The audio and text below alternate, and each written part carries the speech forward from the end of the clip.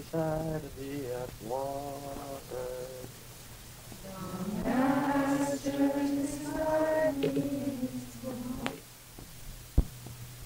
My mind is always drifting Godward. O Master beside thee as water.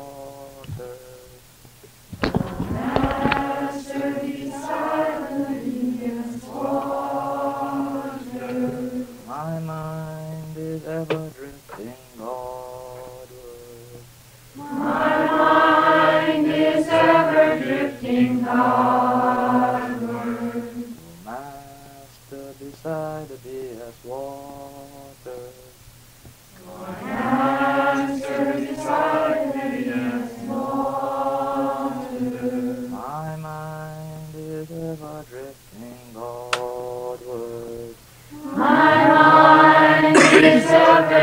Drifting Godward. O Master beside thee as water. Master beside thee as water. My mind is ever drifting Godward. My mind is ever drifting Godward. Master beside thee as water. Master beside thee as water. My mind is ever drifting Godward. My mind is ever drifting Godward. O Master beside thee as water.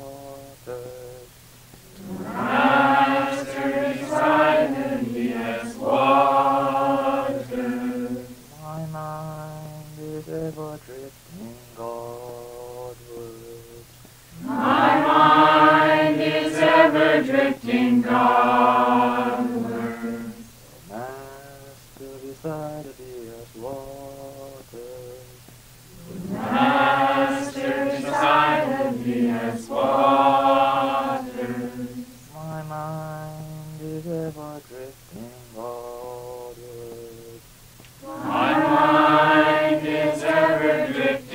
Drifting Godward. O Master beside thee as water. Master beside thee as water. My mind is ever drifting Godward.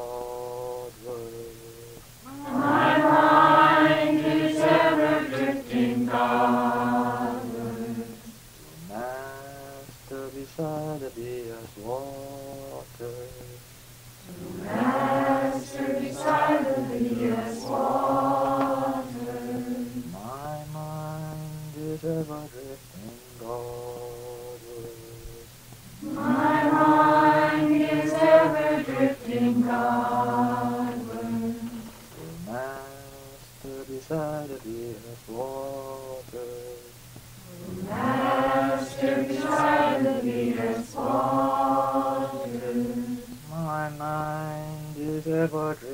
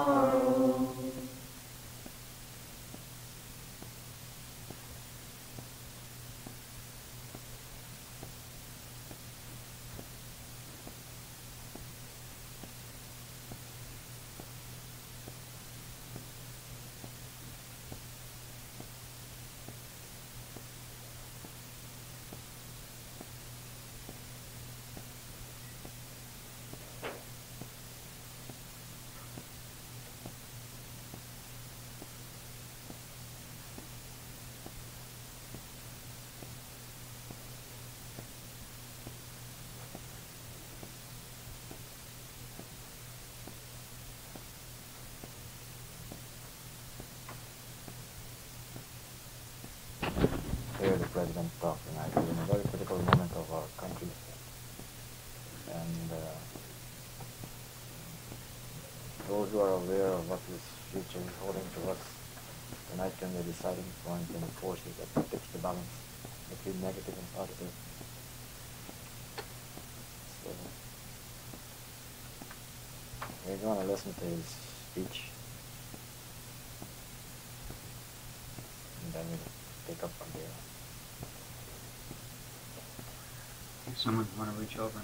television on. Bottom knob. Is this one? No, it's not. Would you like to on your comments before it starts?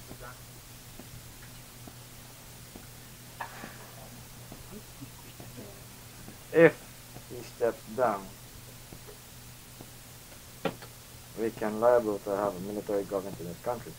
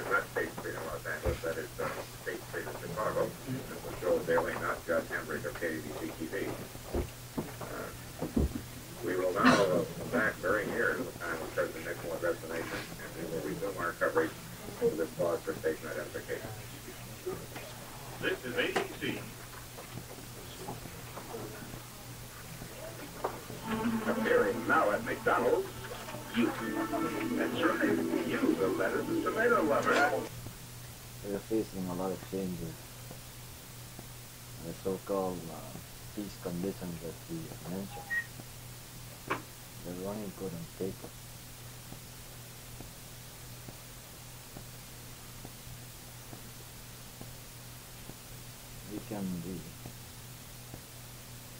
brought into the conflict pretty fast.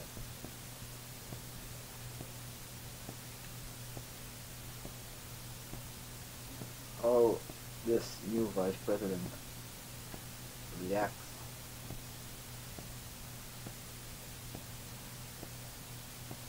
and how the people react could force military action. We got 14 hours of we say sitting on a powder keg. It sounds good on TV. And someone is going to step in the shoes of the other man as you walk up. But as in those 14 hours, a lot of things can happen. There are many cosmic forces at work. Not human, but cosmic forces at work. There are many cosmic forces at work. Um,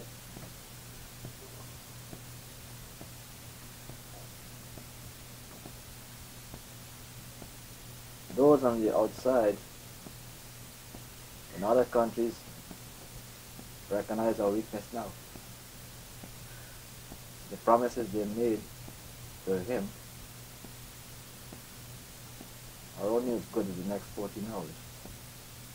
How they think militaristically. What is the condition that will force them to change their thinking can drastically affect us. Right now we are affected by shortages. He calls it inflation. We have a shortage, another shortage. We don't have no grain. There's no storehouse in this country. It's on the ground growing, waiting to be harvested. It's already sold to the men on the other side of the water, waiting to receive it. And if Mother Nature don't give us the climate we need to bring in a bumper crop, we're going to see some real rioting action taking place, even with Mr. Ford as acting president. The senators know it. They're shouting already on, on their heads, different new places, telling the world, telling us. It's already here.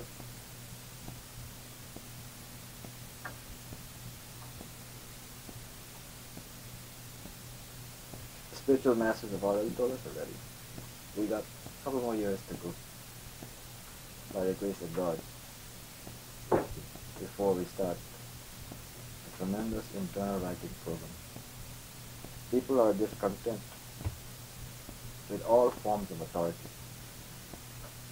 good or bad,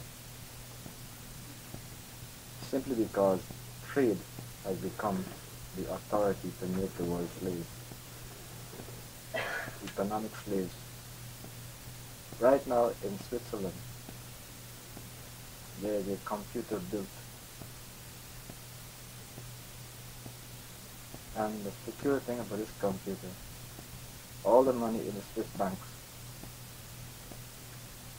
used to have names before to the owners and number no longer they're all typed into the computer now and the only way you can get your money back out is by an identification mark put on the wrist and on the forehead by a laser light. And if you don't have it, you can't claim your money back in Swiss banks.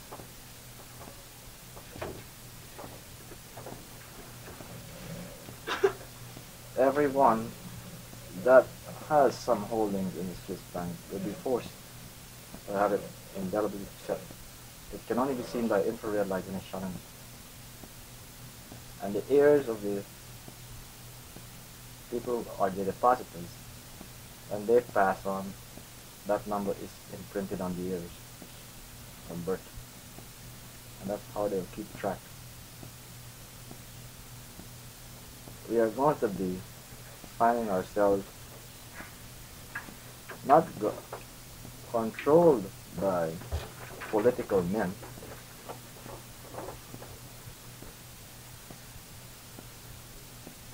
political men are scapegoats for businessmen who pulled all the strings behind. Mr. Nixon's base in Congress It's not a political support. It's a financial support. And let us not fool ourselves. Our energy crisis and all the things that we've gone through is in the financial realm. We don't have a solid dollar no more.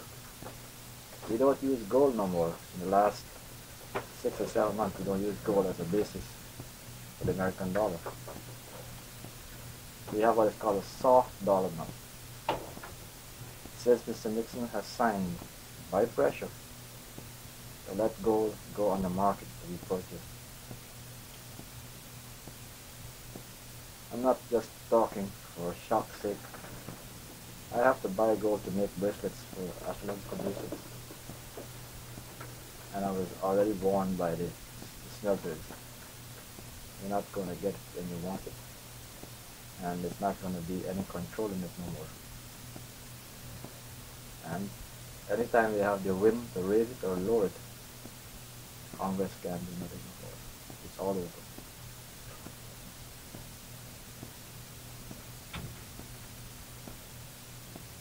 Our friends in foreign countries, who may be considered our friends now, realize the situation they're in now. And how they can stranglehold us in this part of the world. So, by making us committing ourselves to supply them the necessary grain before it is even harvested while it's growing in the ground, they have the first priority to purchase. They realize that already. They realize that there are five basic things that we can stranglehold the world, not the United States alone, but mankind. They'll stranglehold of mankind with the food. They'll stranglehold mankind with the oil. They'll stranglehold mankind with the rate of exchange. They'll stranglehold mankind with freedom of travel. And they'll stranglehold mankind with right to think. We're moving in that direction already. There are only two societies that we have a capitalistic society and a communistic society. At best, they both have faults. Yet within these two societies, there is a third society, a non-profit society. But that's a very small minority on the upswing, on the upgrowth. In the capitalist countries, we have non-profit society. Also in the communist countries, the recognition of the non-profit society has made inroads on all levels now. Individuals who are working for the benefit of others, in service and their own self-integrity, and helping themselves to help others. These are the individuals who are looking inward to themselves for guidance. These are the spiritual people. Many years ago, I don't know if you've read the autobiography of a yogi, many of you have, many may not have. But when Sri Yukteswar met Babaji and was deeply concerned with Western men and Western men's direction of spiritual growth, Babaji told him that he perceived many saints waiting to be awakened in the West. These saints are among us now. You are the, the seed root of those saints. So we got a long way to go to make the spiritual force effective to hold a balance in the world of the five negative forces that confront us. Greed, anger, lust, attachment, ego. No matter what political structure we find ourselves in, or whatever genetic bond we come from, we all have to face these five forces. We are passing through one of the world's most trying time in this Kali Yuga, entering the Aquarian age. That means we are in the Kali Yuga of the Aquarian cycle. We're entering it with some of the traces of the Piscean effects. We're going to bring all those five negative forces with us. And the only people that can control those five forces and make us slaves to them are not politicians. They are whipping boys. Merchants who trade back and forth to weaken your faith in yourself. Now, I'm not against the merchants, but that's the core. Because once you control the individual's greed by depriving him of what to eat, you get greedier. If you control his rate of exchange, you get him more angry. You see? Once you control those very basic things that are physically and psychologically inherent in every human being, you have a mad, angry humanity that will destroy itself by internal violence. It will take the sacrifice and the foresight of spiritual giants to ward off that particular type of life and its destructiveness. Yukteswar foresaw this. His disciple Yogananda came and tried to build a bulwark. And many other spiritual masters have come and are trying to build a bulwark in every part of the world to set the seeds of sainthood moving against self-destruction.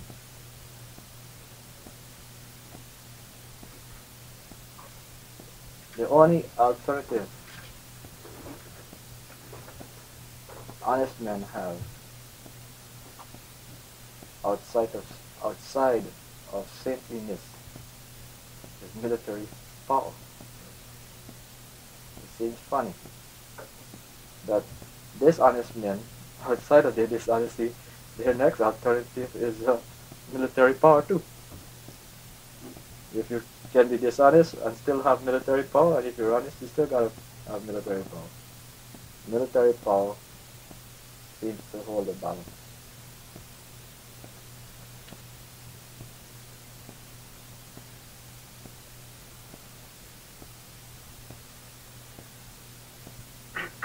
Very few of us know how to defend ourselves. And I don't mean by using arms or weapons. I simply mean using your two physical arms that God gave you. When the great Buddha monasteries were overrun by outlaws thousands of years ago, there came a monk who converted the religious man from a scared rabbit into a roaring tiger by teaching how to use his two hands, that even the nuns were afraid. And when they were taught how to defend themselves, men who were bandits never bothered to attack those monks no more or nuns no more. They learned their lesson. And there was a great period of time when everyone began to respect human beings. We're approaching that level.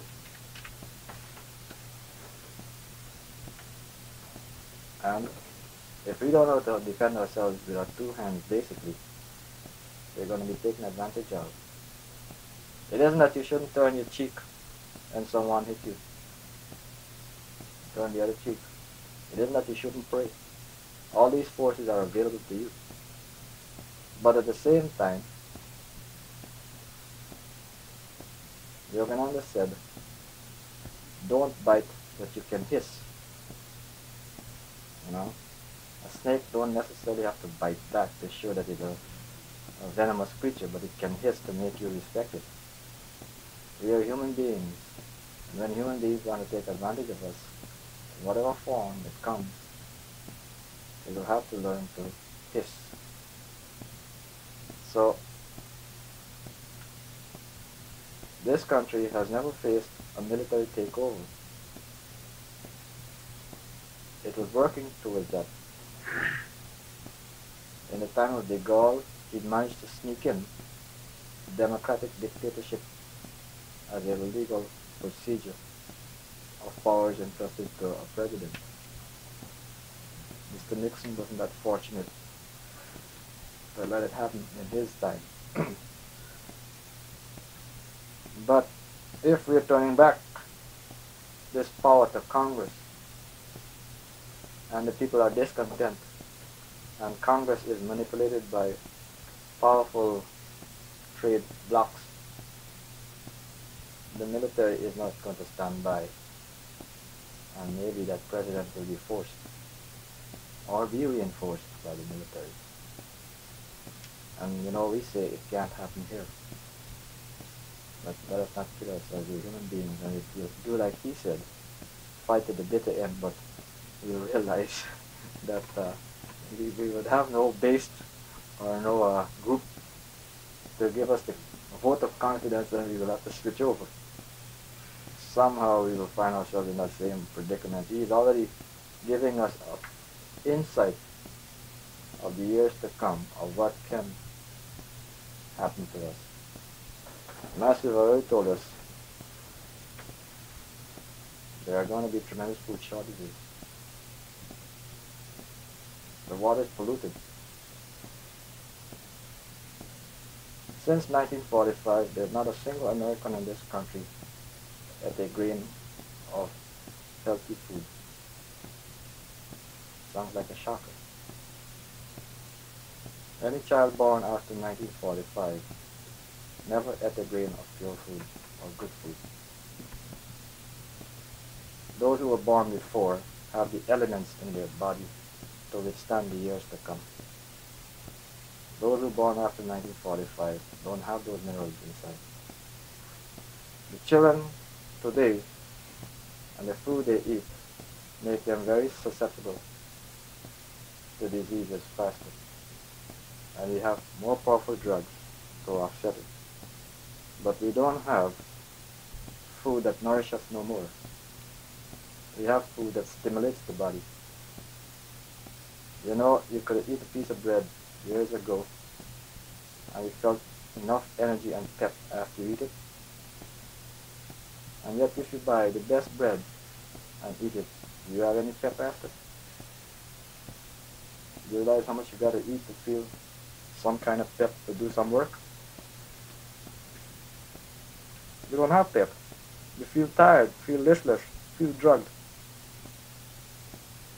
And this is true. The vegetables and everything, and the water. Now, We agreed to allow them to put fluorine in our water. Simply because they say it's good for the teeth.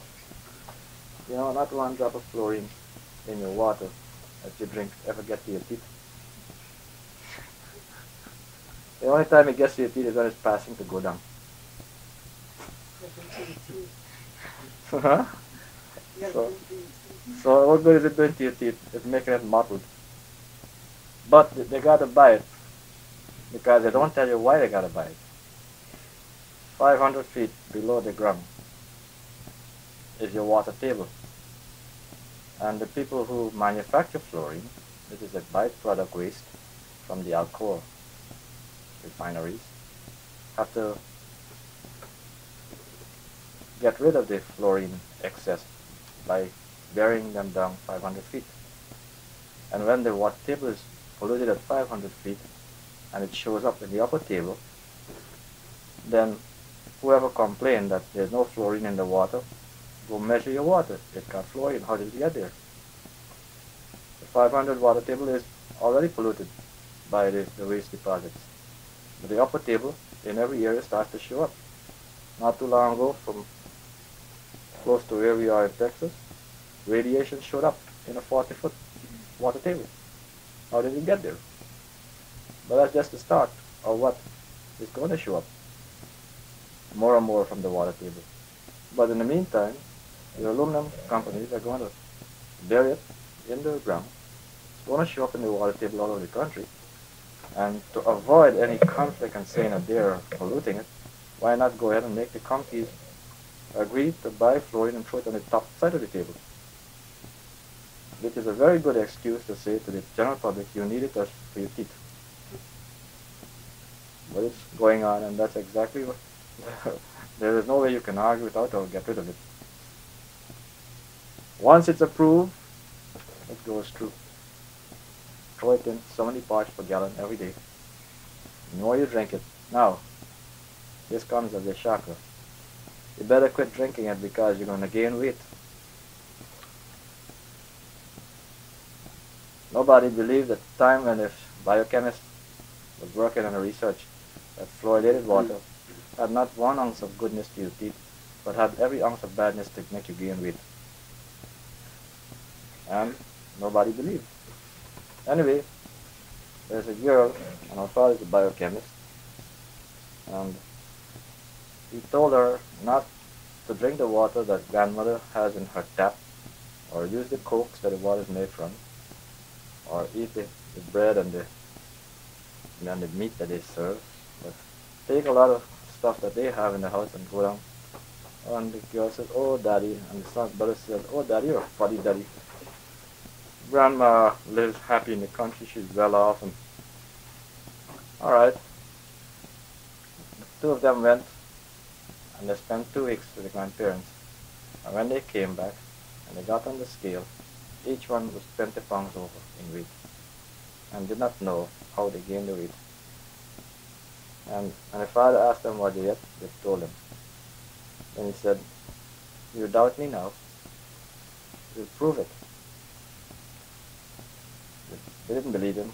Anyway, it so happened that the girl had to do a science project for her science teacher.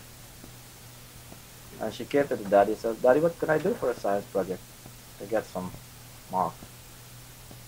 Prove to your teacher that fluoridated water raises the weight of human beings or creatures. Take us a science test and go do it. Well, she went and told the teacher. The teacher says, oh, come on, your dad is way off key. But if you can prove it, it would be a very significant paper and very significant research. But uh, do it on mice and make sure you don't hurt the mice. The father agreed to buy 200 mice to satisfy the girl so they'll experiment. But the girl didn't want the father to have anything to do with the research because he was afraid that daddy might pollute the mice or do something chemically to raise the weight of the mice. So they finally located a mice farm run by a certain doctor who supplied these mice there in Texas. And they went to the farm and the doctor agreed under the supervision with the doctor and the girl, his daughter, that they would work the checks on these mice and put them in different cages and feed them the water from the tap, the water from the ground that is coming up, and water from distilled water, regulated. After two weeks of testing, and the results were evaluated, and the paper was turned in. Do you know how many pounds those mice gained? Those that were fed the fluoridated water and nothing else, just fluoridated water, all gained to their body weight 20 pounds. And those who were fed the water that came out from the ground, well water, where they didn't bother to test it and eh, make sure it was there, they gained about 10 pounds. Those that were fed pure distilled water lost 3 pounds. those that were fed distilled water with vinegar and honey added remained one pound above what they started out.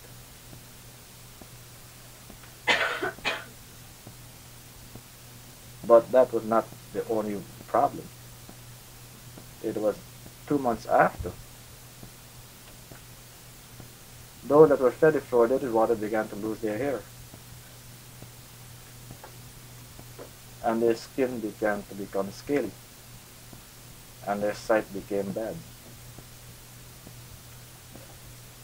And those that were fed the uh, water that came up from the spring merely lost the ability to be very active. Those that were distilled water became slightly lethargic. And those that were fed the water with the honey and the vinegar put back, they remained fairly active throughout the period.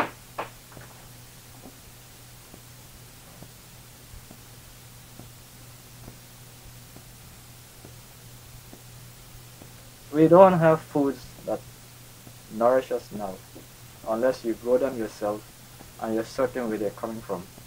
That there are no sprays added to it and the ground is not polluted. Because the foods we're eating, they only stimulate the cells. They don't nourish. That means it makes the cells feel satisfied, but you don't have energy. You don't have pep. You gotta eat a lot of it.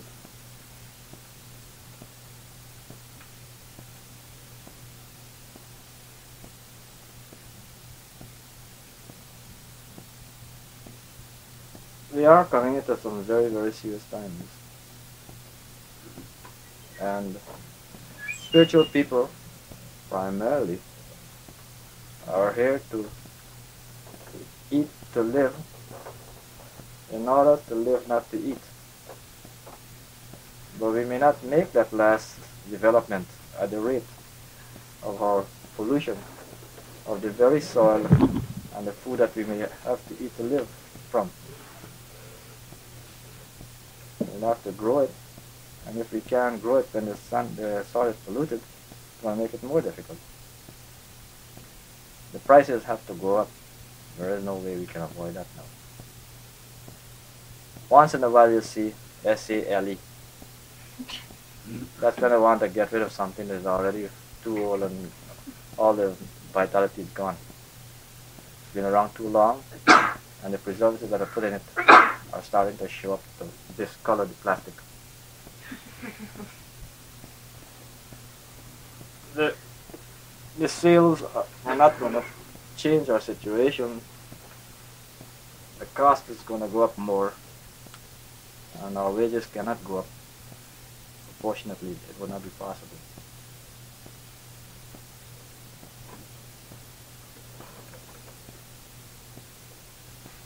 Though during the wartime, you grow your own garden. You remember those gardens? Gardens for victory? Throw away the word victory and better grow your garden for vitality. Change the word from victory to vitality or victory over uh, commercialized slavery because we are facing it already. The seeds have begun of self-destruction. I'm not trying to be a prophet of doom, but I'm trying to merely aware of those who are interested in getting out of the psychological and physiological dilemma of self-destruction through environmental process that is planned to make us all into commercial slaves. And I have no intention to be a commercial slave for nobody, only for God, if He wants me to be a commercial slave for Him. so, number one, five years ago I decided I was going to get out of this particular condition by acquiring land and growing food. I have no other concern, merely to grow food and to house ourselves to work for ourselves and to be capable of defending and healing ourselves. Because I lost a gallbladder a long time for nothing.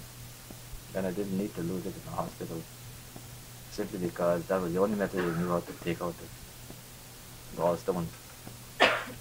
When natural methods can dissolve them and take them out. But many of us are so weak from the food that we eat that it's only stimulating the cells and not nourishing them. Therefore, we have to resort to final surgery. I'm concerned or interested in the very natural way that the body is designed to heal itself. And I don't say I don't accept drugs when it's necessary.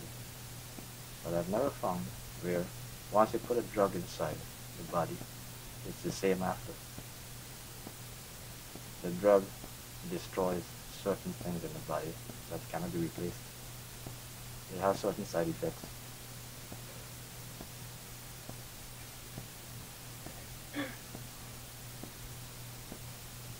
I'm not interested to go fight nobody's war either. But I believe that if you're in an environment, it's a matter of choice what the, that particular karma puts you there for. Each one of us got a karma to be in a certain area or born in a certain area. And therefore we have to face that type of karma. Now, one can be a conscientious objector and by due process of the law, he may be forced to go to jail for his conscientious objection. Better to go to jail for your conscientious objection than to pick up the rifle. Or become a part of the movement without carrying any arms, simply because the country has provided a protective measure against its enemies, thus protecting you and your forebearers. But that's how the karma sets it up. If our parents are protected in this country by a certain military movement and we're the children and we're called upon to defend it, that doesn't say you cannot go into the movement, but you can refuse to bear arms. That's one choice. You have another choice. You can refuse not to bear no arms and go to jail. It's not a bad thing. Simply because you believe to be a peaceful person. It takes a great deal of courage to be a saint. And saints aren't born, they are made by the challenges that face them. I'm not the fact that you shouldn't defend yourself. I don't believe in defending myself to, simply because I want to destroy the other person. Unless a man is seriously ill or crazy, he's going to shoot an unarmed person. But when it comes to defending himself against an unarmed person, I like to be well trained that I can defend myself without the use of arms. So that I know I have an even chance with the person. Also, I'd like to know that I can pray for the person before he gets to that level of self-destruction to attack me. But in order to do that, I must have the physical strength and bodily integrity to do it. So I need the environment and I need the time. And if God gives us the time to do it and we don't do it, then we're at fault and not God at fault. We have a, a little time, not a lot of time. We can fast like years ago to clean up our system. Years ago you could drink water and fast and nothing would happen to your body. But you drink fluoridated water and fast, and all the toxins will go into the bone marrow, and you'll be more sick than you were before you ever started. And again, your body will start altering. You'll start gaining weight. You'll start retaining fluids. The organs will start to go off their normal equilibrium. So, the third society is growing. It's the non-profit society, the spiritual society, not commune.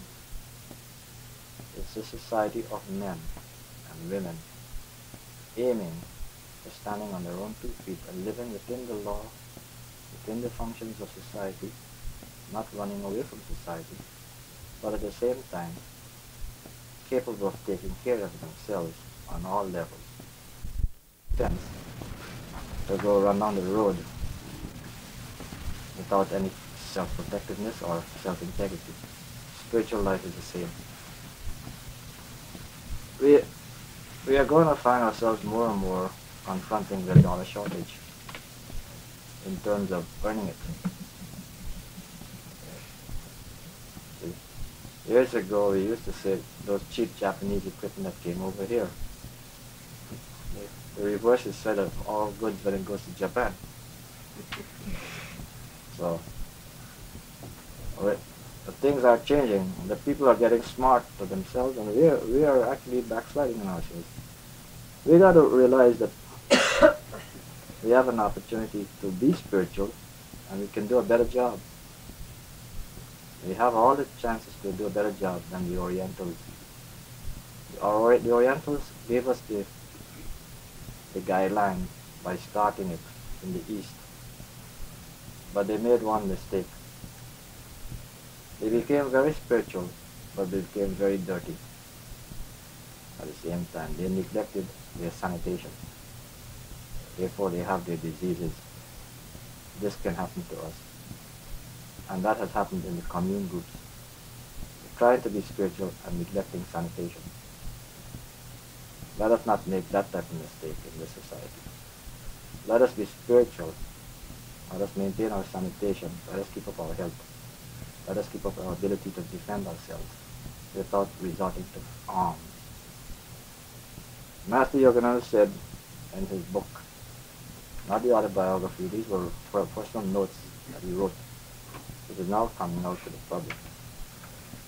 The road ahead is called.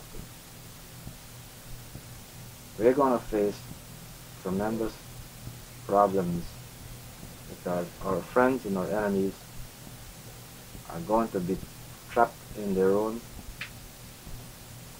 mental conflict and they will begin to fight among themselves and we will be forced to use nuclear weapons we said tonight that there's a limited nuclear weapon system. Now how can you limit it? Where can you limit it to?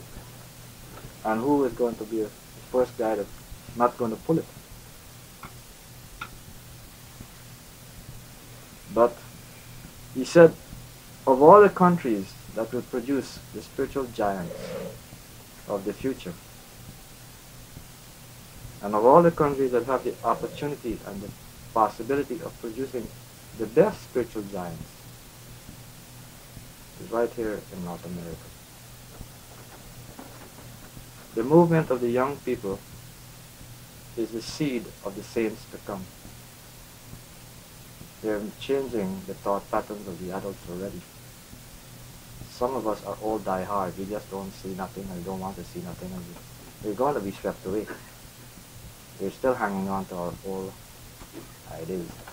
But the young people are seeing it already, but they don't understand it and they don't know why it's happening and why it's coming.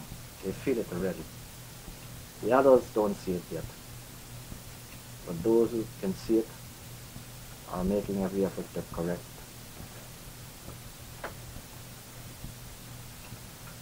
Spiritual giants will come out from all levels. And in fact, we will be of such a caliber that as we develop ourselves, the miracles in the Bible will seem like child play in comparison to the miracles that will be performed by the spiritual giants in this country. When we really turn on this divine power in ourselves simply because we would have a better background of comprehending these forces from our industrial development and the workings of the laws of nature and our education that has brought us this far. Early biblical people did not have that as a backlog. Orientals did not have that. They perform a great deal of miracles. There's a lot going on in the East. They can do a lot the average layman does not know why it's going on. His understanding of these laws would be superstitious, speculative. We are fortunate that that veil has been torn away from our eyes, our inner mind, by the development along the physical laws that the scientist, the mystic, and the medium are all saying the same thing at last for the first time in different semantics. And we, the inheritors of this wisdom, will move forward much more dynamically to do this spiritual life with scientific knowledge. More, much more than doing a spiritual life based on assumption and hit and miss. When we know what we are doing, we can do it better. When we don't know what we're doing, we're hitting missing and taking it surely on faith. Let us not be in that position. We're given a chance to be born in this world, in this environment. You don't realize why we're born in this environment? Why of all people you selected to be here? You realize it's not your first and last time. You had to be born. You came from some other culture with a craving for spirituality. But also you crave to know the laws of why and how. You crave wisdom and understanding. That's why you're thrown in this society to have the fundamental understanding of the laws of physics. Others don't crave it, but others may die craving it. It's their good fortune. Many Hindus, Hindus and Chinese Orientals are being born with some spiritual craving, but a tremendous amount of craving to know the physical laws simply because they're dissatisfied with their sanitation environment. They've polluted themselves that way. We've polluted ourselves with the industrial way. we got to make a balance now. We got to take advantage of these two faults and correct it. We don't want to see a militaristic action go on in this country, but we are bordering on it. And we are bordering on a tremendous amount of revolutionary actions among dissatisfied people who don't want no law and order no more. Because to them, law and order is already standing for corruption, advantage takers, and the whipping boy is a politician. When they themselves know that the politician, the dissident elements know that the politician is not the fault, they know who the real guy is behind it all. They know it's the man who's buying and selling and holding the mortgage over your head. He's the guy that ties you together. It's nuts. And when he can't tie you sufficiently in knots, he uses the whipping boy to enforce it because he can't enforce it. So self-security is something we need. There can be honest businessmen too. Nothing wrong being honest. All spiritual activity runs as a business too. They have to. Otherwise, it, it can't run. But it's based on a non-profit function. The uh,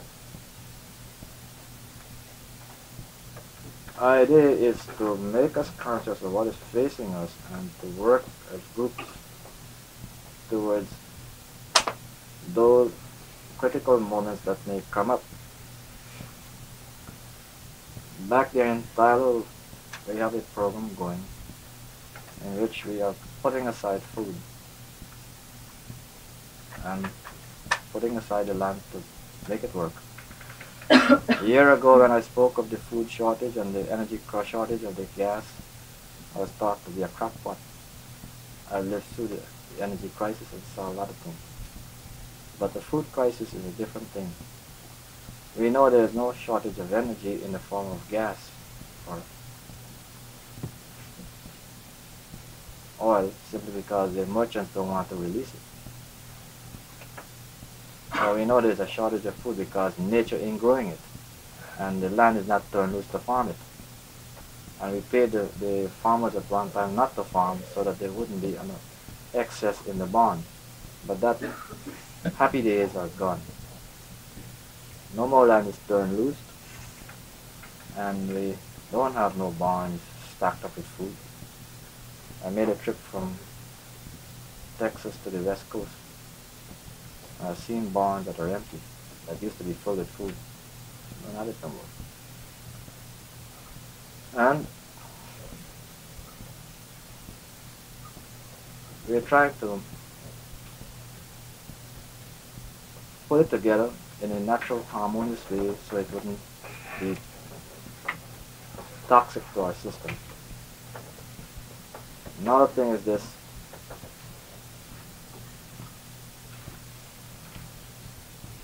If there is a crisis, we have the food to share with those who do not have it. If there is a crisis, I have three choices to do with that food. Share it with others, along with myself, or sit down and eat it all by myself and be a stinker. or the third thing, not to store the food and wake up every morning and say to myself, whose food I'll eat today. So that's my choice, you see. Either to store it or not to store it. Either share it when the crisis comes or not to share it. Or just go and say now, who do I beat up today and take away? That's the alternative I have left. If we have it to share, we will share. If we have the know-how to sustain ourselves while we are sharing it and trying to grow it, by the time the government decides to do something to make the land more open, we will do that. If there is no crisis, we haven't lost anything, we have gained simply because by the time you go to buy it at that time, you couldn't afford to pay for it. So we haven't lost anything. And this is exactly the situation we're in. See? I knew back in 1968 when gasoline was selling for 32 cents a gallon and milk had jumped to 98 cents a gallon, I said to a very good friend of mine,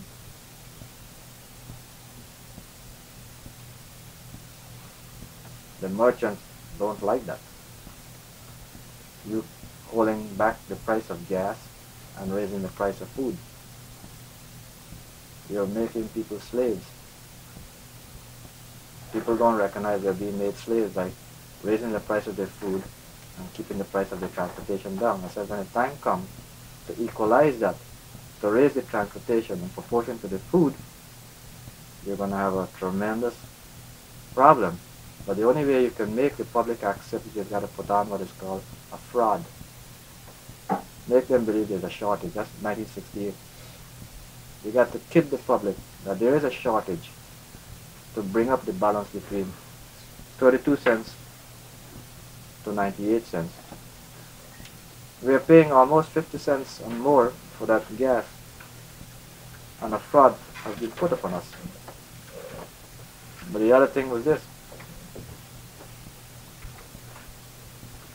That gallon of milk, how much you paying for it today now?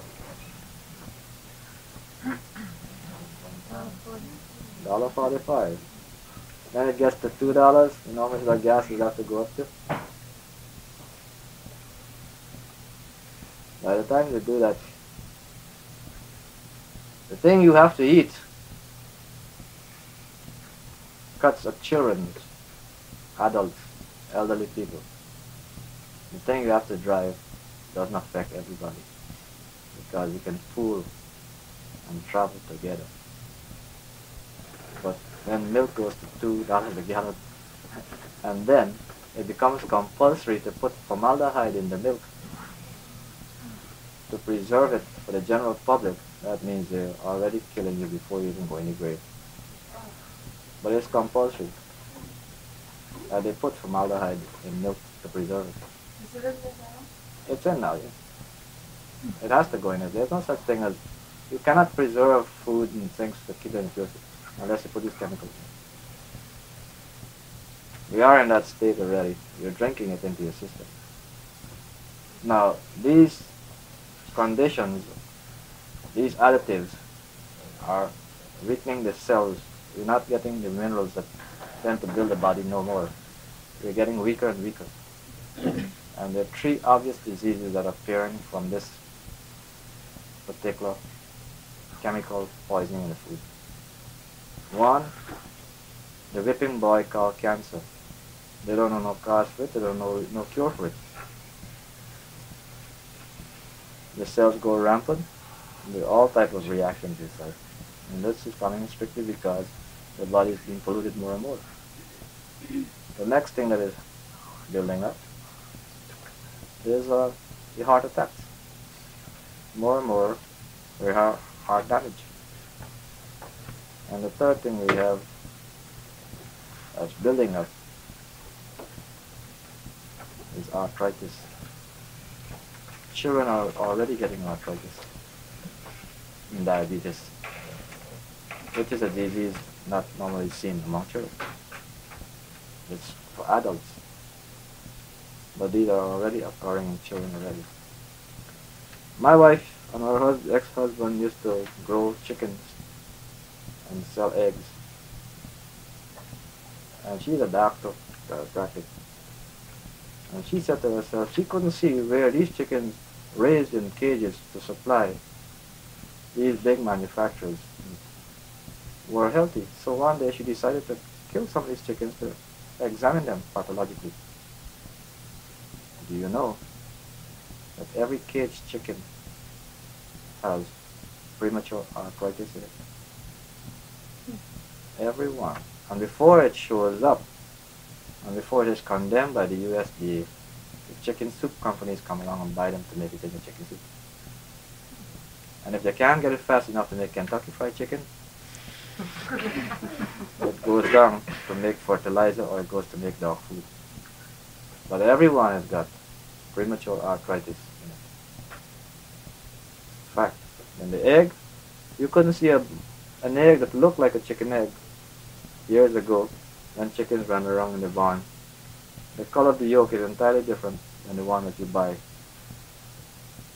You have to keep adding more and more additives for the chicken to get it stronger. But the chicken is not getting stronger. It's getting weaker and weaker simply because it has to lay eggs after eggs to keep up the production. But it's not producing healthy chicken. Alright? We are not getting food into our system that is nourishing. We're getting food into our system to stimulate the system.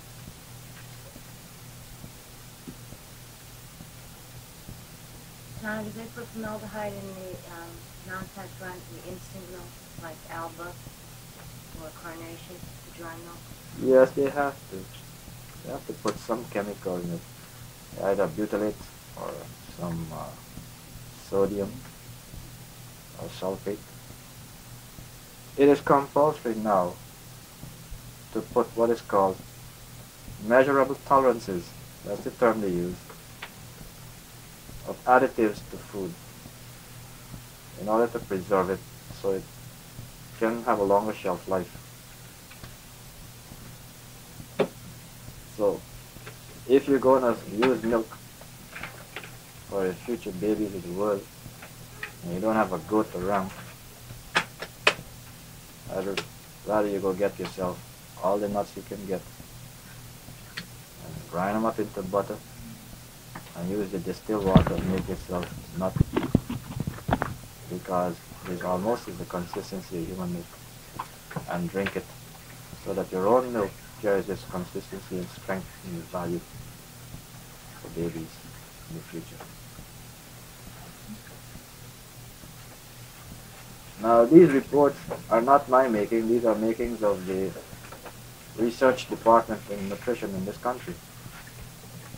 The doctors who were talking at a convention that I attended a few weeks ago were giving this information to a cancer research program and a heart program and the blood program of hemophiliacs. They stated that the blood in the blood banks throughout the United States, 90% of the quality of the blood is that from alcoholics. And we do not have blood from healthy people. The percentage is very low. Now, you can't store blood too long. It loses its potency. So, if there is a run of the slightest or nature in this country. And a hemophiliac, if he don't get blood, he'll die, let alone a healthy person. We're in a bad shape because the blood that we're putting into you will be from a very low vibratory nature, where it came from. Whatever communicable disease or whatever mentality program is going to transverse to ourselves. We, the reason why we want to maintain our own health, maintain our own garden, maintain our own self-defense systems and therapy system is that we want to be able to heal ourselves so fast that it defies modern science to understand it. So cut your foot and pass your hand over it and heal it and not leave a scar.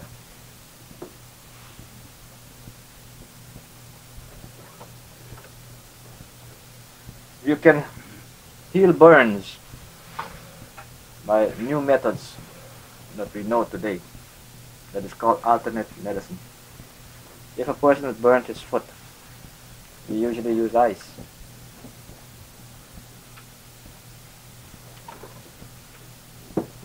Today we don't have to do that no more. We can do something even better than that. We take the foot and wrap it up with tin foil and take a very fine wire with a clip and clip the tin foil and to the other end of the wire we take a little probe and attach it to the upper portion of the body away from the burn. And in five minutes all the burning is gone. All the redness is gone in about 10 minutes. And it'll, it'll scab. And you can take crystallized honey and just coat it and leave it for about six or seven hours and the scab will form and will fall off leaving no scar. Now, here is an interesting thing. I was at this convention of myologists and there was an MD there and we were discussing what are the chances of survival and medical care in this country in a place cut off from hospitals and a drugstore. And the MD said to me, he said, you know, if we had a hundred people to take care of, and just the two of us were the only people who had some knowledge of healing. He says, I wouldn't know what to do without a hospital and a drugstore. I can take their blood pressure and so forth. He said, but if I didn't, what, how can I recommend a prescription?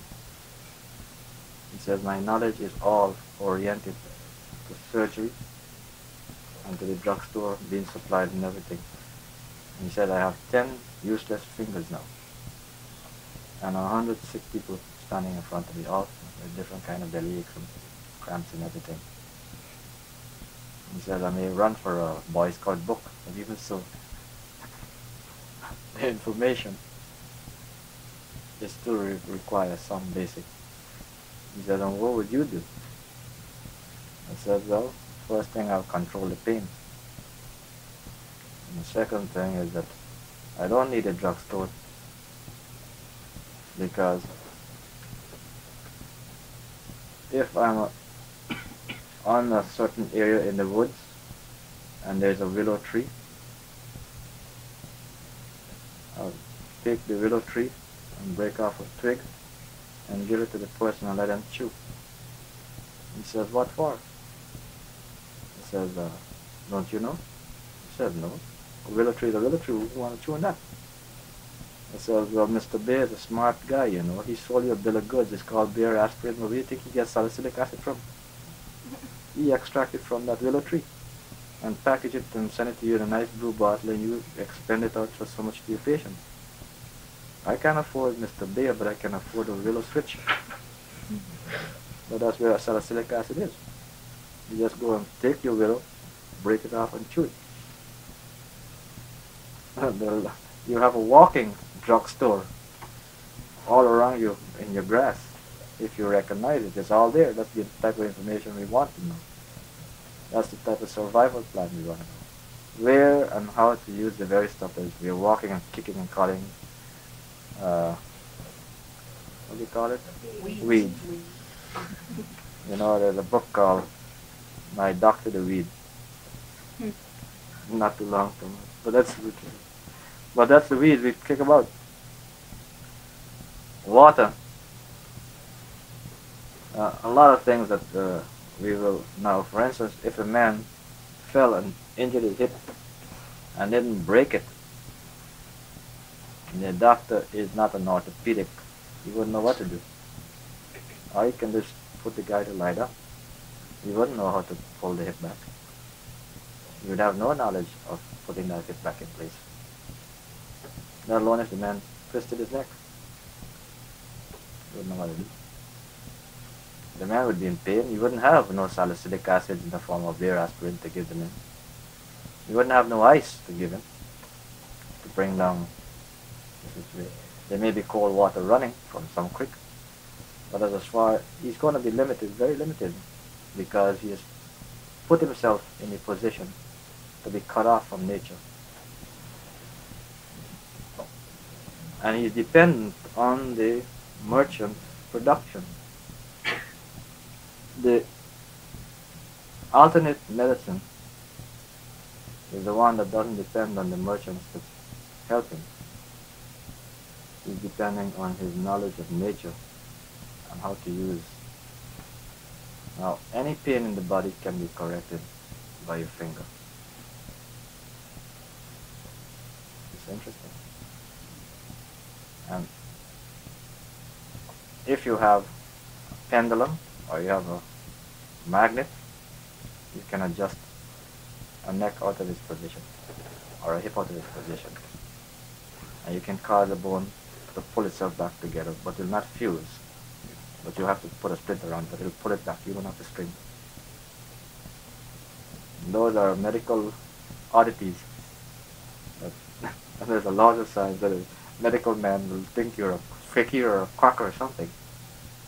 But you see, the medical man is not trained to understand that muscles and bones follow the laws of magnetism.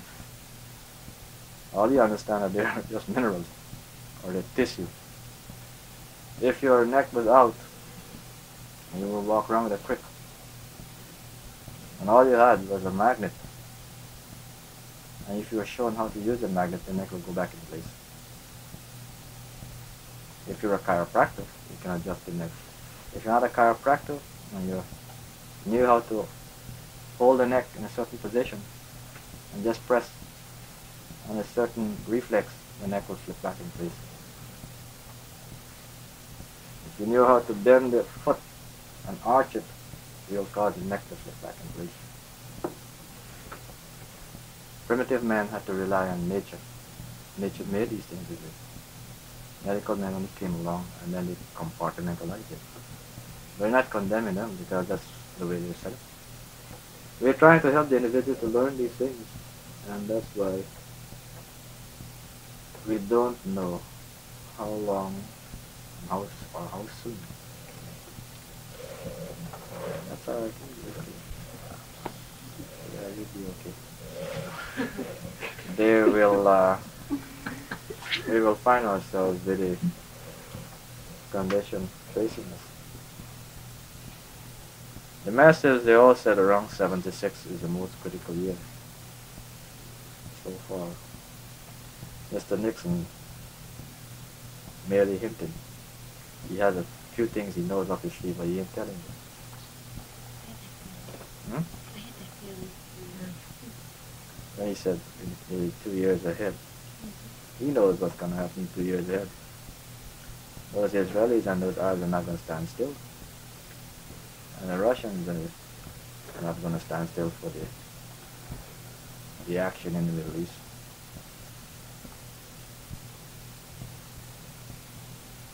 But he knows that already. Where's gonna be the biggest breakthrough?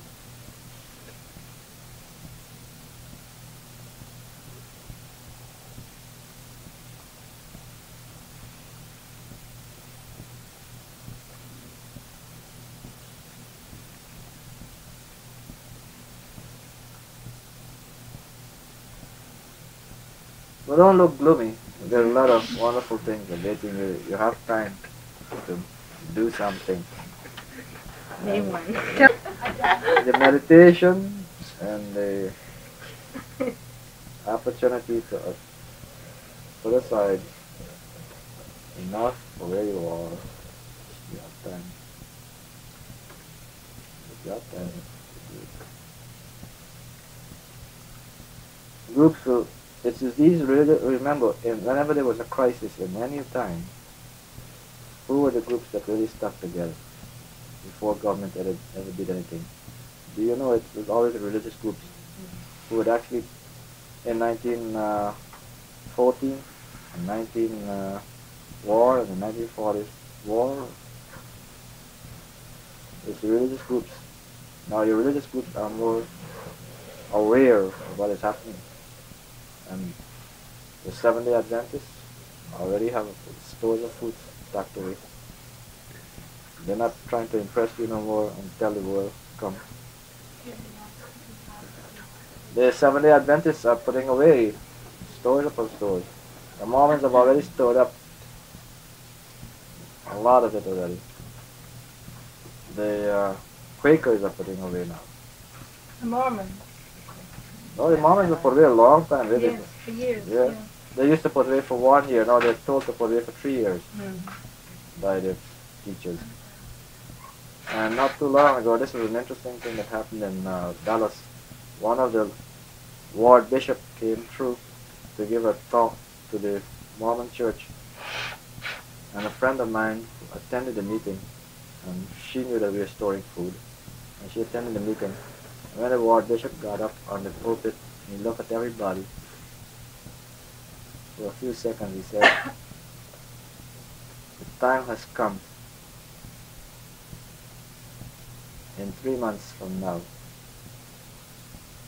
we all have to prepare to move on to our place in Missouri. So get yourself ready to travel. Lock, stock, and barrel. She said you like a pin hit the floor. Everyone was taken by surprise. And then it, and it, the reactor was, says, don't be alarmed. This is just an alarm, false alarm. The next time I'm by, it's not a false alarm. This is to prepare you. You don't have much time. And if you're ready to go, just tell your boss you're going fishing.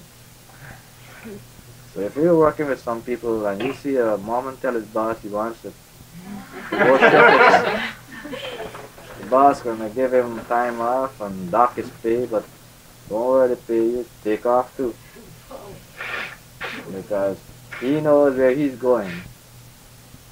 He's going to Missouri. to Certain areas that they own they're going to be able to weather the storm or what is coming.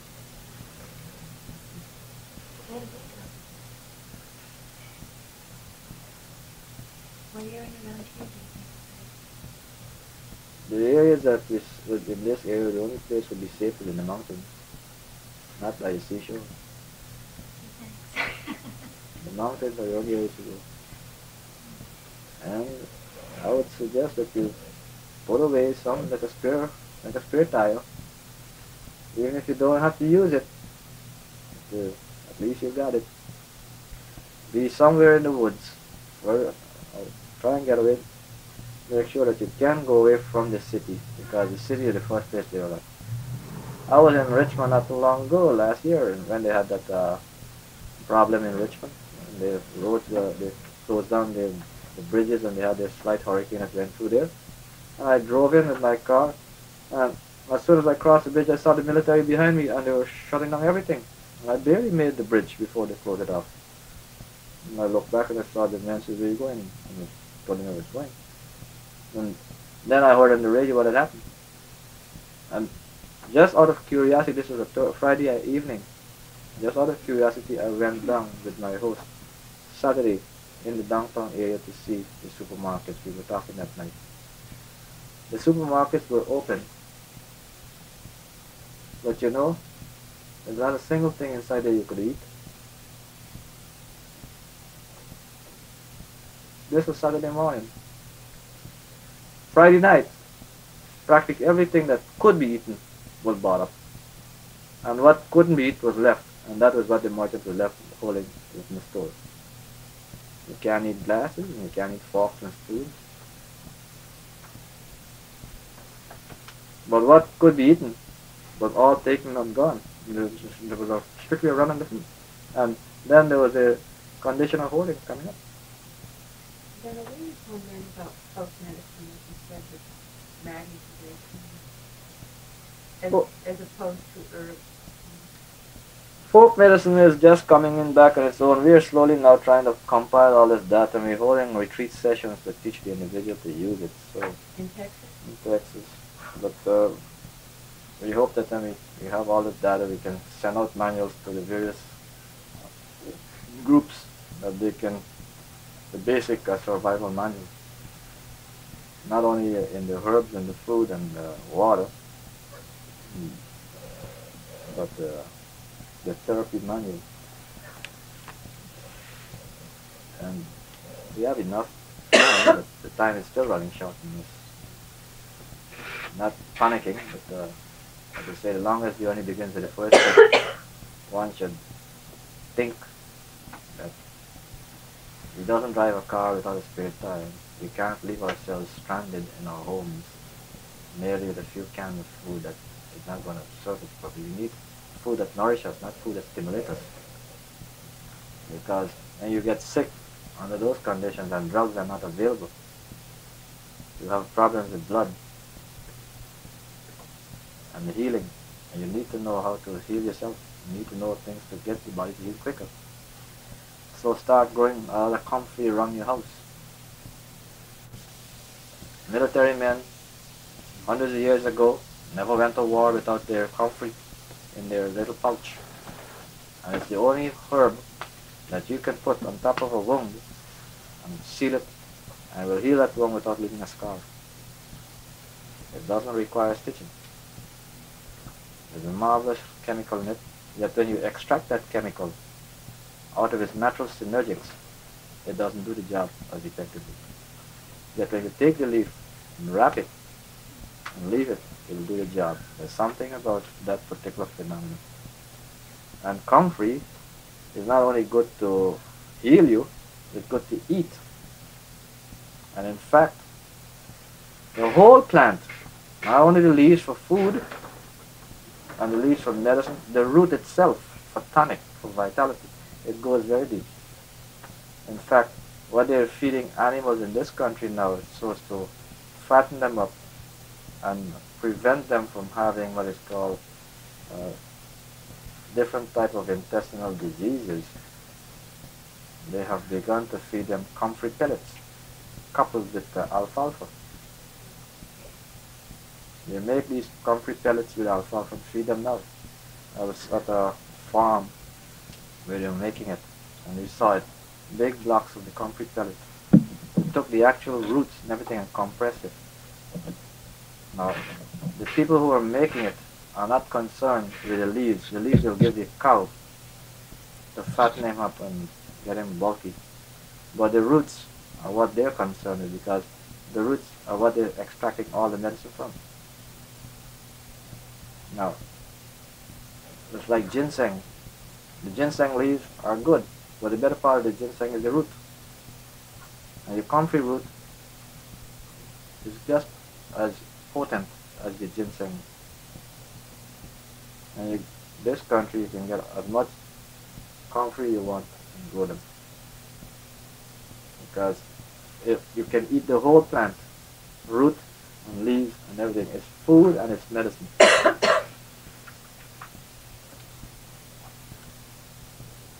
If you got some little place in the backyard and the next thing if you can't uh, have a backyard to plant you got one little room that you can spare make it into a little greenhouse make it into a box or something you know. You'll be forced to do what is called hanging farming. They grow in buckets too you know. Food grow in little barrels or little crates. You want to have the best strawberries? Don't put it in the ground fill up a little crate or a bucket with dirt and perforate it in the side and plant your strawberries in the grow. You get more delicious strawberries than putting it in the ground. Just hang it. Need very little water and do sprouting. In fact, people should take advantage of Ann Wigmore's knowledge right here in Boston area. She is self-sufficient. She'll never starve if anything should happen because she knows how to survive on the minimum. It's true. She's got the seven basic grains that she sprouts to keep the body healthy. And we may find ourselves in that situation. The seven grain, uh, winter wheat or wheat grass, we make the wheat grass, and uh, sunflower seed, uh, buckwheat or rye, that's. Uh, mung bean, soybean, alfalfa, and uh, lentils. These are the basic seven. And if you use it, now in the wheatgrass, you not only have food for nourishment, but food for therapy. Because when we have a depression and a condition of crisis, the human brain will go into a state of schizophrenia. People will get very, very neurotic, very uptight, simply because of the fear and the panic of the possible not able to feed themselves and seeing others who are retching because they can't go along no food or the body, there's no food around. And the water, you wheat grass will keep your brain from going into schizophrenic states. And your sesame seed will strengthen the brain and prevent it from being hallucinated. Sesame or alcohol? Sesame seeds, alfalfa will uh, give you strength. And the, but sesame seed, the reason why the Turks could not be brainwashed during World War II by the Germans, they didn't realize that they were always eating sesame seeds. And the sesame seed was keeping the alpha level of the brain high, and the Turks would always go into the alpha level. Couldn't brainwash them. And the only other alternative to a sesame seed is every human being except you is the devil. That's the Jehovah's approach to it. So the Jehovah's Witness, that's their approach to keep you from brainwashing them. If you're not a Jehovah's Witness, you're the devil. See? So you can't brainwash them because man is out to fight the devil and he's got God on his side who's going to be against him. So you see the psychology works. If you if you're not a Jehovah Witness and you come to talk to him, no brother, you're the devil. Man, I'm here to fight you to the bitter end. You can never you can never brainwash him. You see? And he wouldn't go to war for nobody. He'd go to jail for it because you're the devil. So he's already done know that. He's been programmed that way. So that's one of the psychological uh, immunization techniques against being affected into schizophrenic or uh, depressive level. Mantra yoga by the yogis is the same thing. There's nothing else here but illusion. So repeat your mantra, repeat your holy name. You see? So initiates have a head start, but the world is not initiates. The world is human beings. And we are not uh, going to find ourselves an exclusive class. We can't just think of ourselves when we're thinking in these levels. We have to think of humanity as a whole. We are our brother's keeper too, you know. When this um, crisis is over, do you uh, feel that society will resume in the form we know it, or there will be permanent alterations? Society will break up and decentralize itself from the large cities after these crises.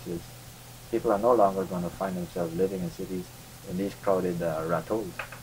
Everybody's going to try and get off to some little green patch, wherever it's possible to get out. In fact, majority of humanity in the years to come will be like the gypsies in their caravans. They don't want to be moving away from the big cities. It is not the big cities may not function, but you will not find too many of the big cities being the the entrapment or the allurement for mankind no more. Do you feel countries as such will survive? Or, The underdeveloped nations may not survive. They will be totally uh, at the mercy of nature and its whims for growing because their land is polluted by bad sanitation already. They have used human feces to fertilize it, and that will be the detriment. The internal communicable diseases will, spread too fast through their society and destroy them. We have been fortunate not to have used that to pollute our soil that way, but we are polluting our soil with the, deadening of the senses by the type of chemical that we put in the water to drink that makes us ineffective to think clearly. And at the same time, it's weakening the sight, it's weakening the heart, causing premature aging in all mechanisms.